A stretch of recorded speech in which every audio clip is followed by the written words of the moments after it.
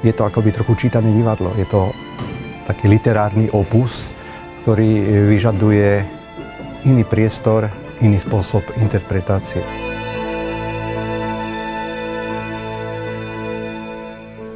Som zvedavý, ako dopadne tento projekt, ktorý je zas úplne iný.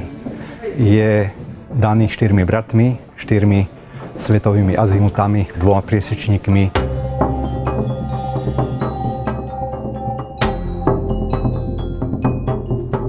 Táto hra má ešte jednu rovinu, to sú ženy, ktoré ovlivňujú životy bratov Jurgovcov a sú to akoby múzy, sú to akoby anieli. A to sme vymysleli, že sa to hrá vlastne na týchto ochozoch a funguje to akoby jeden celok. Nie tu cítiť nejaký násilný vstup architekta alebo násilný vstup scenografa.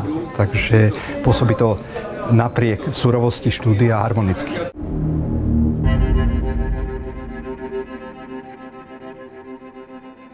Tá farebnosť nie je nejakým rozhodujúcim faktorom v, tom, v tomto momente, ale keď človek e, zháňa určité veci, napríklad tie stoličky, nie som 4 rovnaké, také ako som chcel. Čiže musím to farebne riešiť, že je to spústa takých e, manuálnych detailov, ktoré zdanlivo s kumštom a s nejakým tým e, vytvarným výrazom spoločné, ale musíte absolvovať scenografia aj sluha toho divadla. Stol je špecifický, pretože musí mať 4 šuflíky, pretože v sú rekvizity, každý brat má svoj šuflík, svoj interiér, svoj kus života ľudského a divadelného, tak ten sa musel samozrejme vyrobiť.